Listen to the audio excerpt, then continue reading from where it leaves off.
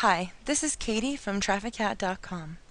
Today we'll be learning how to install fonts into Linux Mint distro. We're going to do it so that all of our programs can call on them. So if you use OpenOffice, LibreOffice, and GIMP, you can install them into one folder. First of all, we're going to go to where we downloaded our fonts. I have five of them here.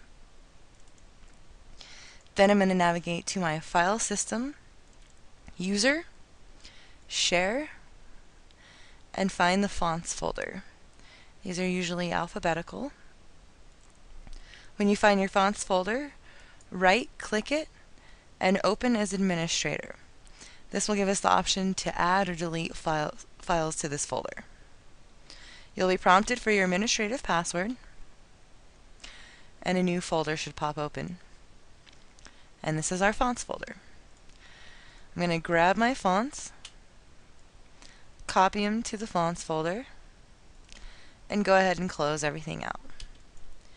Now, to double check that my font's installed correctly, I'm going to open up GIMP.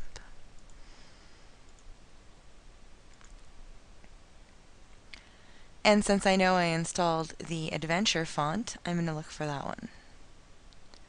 And here it is at the top, Adventure. And that's how you easily install fonts into Linux Mint. Thanks for watching, I appreciate your views, and have a great day.